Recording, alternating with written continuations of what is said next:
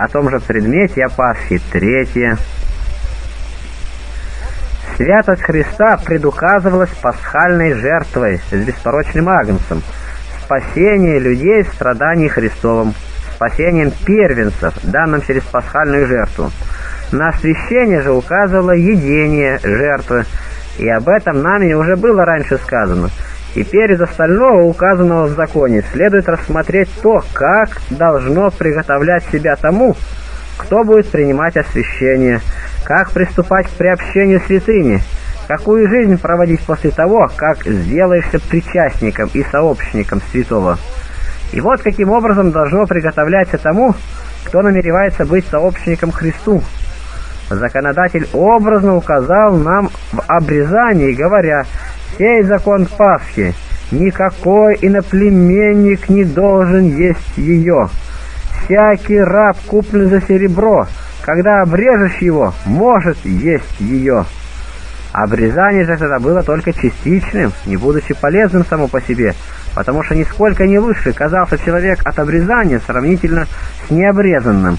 Напротив, израильтяне даже порицались по этому поводу от Бога. «Ибо все народы не обрезаны плотью, а дом же Израиля с необрезанным сердцем». Иеремия 9.26 Истинное обрезание есть обрезание всей плоти, делающее приятным и угодным Богу того, кто обрезан сердцем, у кого снято плотское покрывало, которое мы имеем по наследованию от родителей и которое должно быть снято у нас. Закон, повелевая обрезывать детородные члены, наперед указал в этом символ рождения и покрова, сопровождающего нас от рождения. Итак, тот, кто не оставляет плотского образа жизни, тот не достигнет общения со Христом.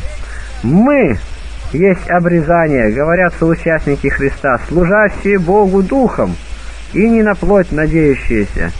Только сердце, свободное от всего плотского, истинно может служить Богу и Духом, соединяться со Христом. Началом этого обрезания служит, служит страдание за нас Господа, пренебрегшего своей плотью и принявшего ради нас самое обрезание. На нас же таинство отпечатывается в крещении, а исполняется в жизни сообразно Христу. В нем вы и обрезаны обрезанием нерукотворенным, совлечением греховного тела плоти обрезанием Христовым, бывши погребены с Ним в крещении. В нем вы и совоскресли верою в силу Бога, который воскресил Его из мертвых. Колоссянам 2, 11, 12. Итак, Пока ты не оставил плотских привычек, ты как и народный, и чужестранец, и не будешь участником и сообщником со святым, пришедшим с неба Христом. Тот сам должен быть небесным, кто хочет подойти к небесному. Небесным же никто не может сделаться, не оставив земного. Таким образом, наперед умертвив в себе ветхого человека, благодатью крещения, через усердие в духовных делах, ты подойдешь ко Христу и приобщишься к Нему. Во-вторых, нужно видеть, каковыми были по закону все участвовавшие в ведении Пасхи, для того, чтобы узнать, какими должно быть и для участия нам со Христом. Чресла ваши, говорит, должны быть припоясаны, и ноги обуты, и посохи в руках ваших. Дорожная одежда, надетая и хорошо подпоясанная, указывает на скорую готовность идти навстречу обетованию Божию, как и Израиль тогда, готовый в путь, отправлялся в землю обетования. Обрати же внимание на духовного путешественника, какое он имеет перед тем преимущество. Он спешит не на эту дальнюю землю обетования, не временное благо преследует, не землю меняет на землю, не иудею вместо Египта, но что говорит такой путешественник о своем путешествии? Забывая заднее, простираясь вперед к почести вышнего звания во Христе Иисусе. Вот чресла, припоясанные истиной по апостолу. Так именно, ты будешь проворным в добром течении, если оставишь все теперешнее пустое и ложное по Давиду. Станешь искать будущее истины и по ней томиться. Псалом 38.8 Ноги обутые, говорит, готовностью благовестия мира, способной для всякого доброго бега, каким упрочивается для нас мир с Богом. Как говорит апостол, мир имеем с Господом Богом нашим и через Иисуса Христа. И еще, терпеть, с терпением будем проходить приближающее нам поприще. И еще, и потому я бегу не так, как на неверное, бьюсь не так, чтобы только бить воздух. Посохи у них в руках — это надежда или утверждение души в Боге, чтобы не колебаться в скорбях, как и сказал Павел, 1 Фессалоникийцам 3.3, но быть твердыми. Ешьте же его так, ешьте с поспешностью. Не для беспечных эта еда, не для удовольствия, не для тех, кто небрежен и склонен к бездеятельности, но для тех, кто имеет дух бодрый и напряженный, почему она и доставляет нам минование губительного мщения, когда посылает его Господь.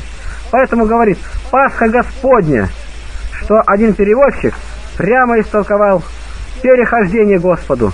В-третьих, после такого принятия божественной пищи мы посмотрим, какова должна быть и жизнь того, кто принял это святое питание.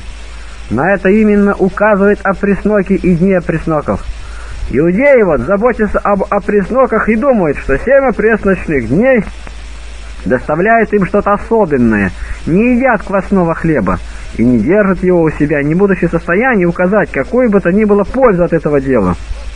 Потому что они образ выполняют, а не истину. Ты же понимай, а преснок согласно слову апостола, и как мы показали именно, чтобы душа была чиста и не запятнана никакими злодеяниями, чтобы был новый образ жизни, без всяких прежних пороков. Очевидно, так нужно понимать эти слова. Исход 12.9. Семь дней не должно быть закваски в домах ваших, ибо кто будет есть квасное, душа та истреблена будет из общества сынов Израилю, пришлец ли то или природный житель земли той. Возвращение к прежней порочности есть гибель для того, кто был переведен в новую жизнь. Если по плоти живете, сказано, то умрете. Какое символическое значение имеет семь дней опресночных? Семь дней, говорит, ешьте опресноки. Семь дней, так как это есть на самом деле, обозначает все время, потому что после седьмого дня, который есть покой, начинается возвращение первого. И этот круг времени идет вперед, обращаясь через семь дней в самого себя. Во все, конечно, время следует тебе жить в простоте и чистоте и это поистине спасительно. Если сказано «живете по плоти», то умрете, а если духом умерщвляете дела плотские, то живы будете. Римлянам 8.13 Характер того, кто не ищет плотского, прост, не злобив, не лукав, чушь всего худого и ненавистного. Почему же первый и седьмой день называют святыми, говоря Первый день да будет у вас священное собрание, и седьмой день священное собрание. Никакой работы не должно делать воные. Только что есть каждому одно то можно делать вам. Исход 12.16. Потому что как первый день показывает начало, в которое мы освящаемся через принятие Святого Духа, так седьмой день обозначает конец, когда именно мы, освободившись от тела, бываем со Христом и приходим к Господу. Оставив странствование земное, всецело переносимся к святости. Итак, мы всегда благодушествуем, и как знаем, что водворяясь в теле мы устранены от Господа, ибо мы ходим верою, а не видением, то мы благодушествуем и желаем лучше выйти из тела и водвориться у Господа. 2 Коринфянам 5.6 Закон требует, чтобы эти дни были свободны от работы. И никакой работы не должно делать в оные. Это показывает, что душа не должна уклоняться в сторону земных попечений и оставаться в рабстве, не соответствующем служению Богу, но что только то одно с ревностью душа должна только на то употреблять усилия, в чем для нее есть польза.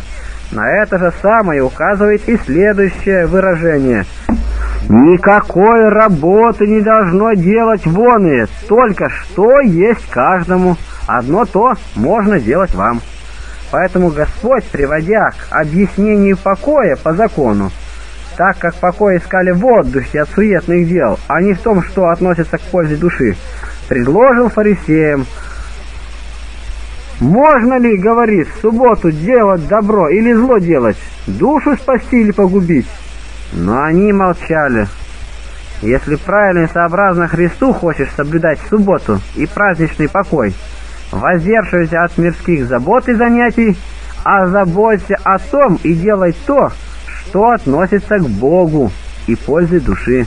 И тогда будешь истинно и правильно проводить субботу и праздновать святой праздник. Образ того, что у Христа, которому слава во веки веков. Аминь.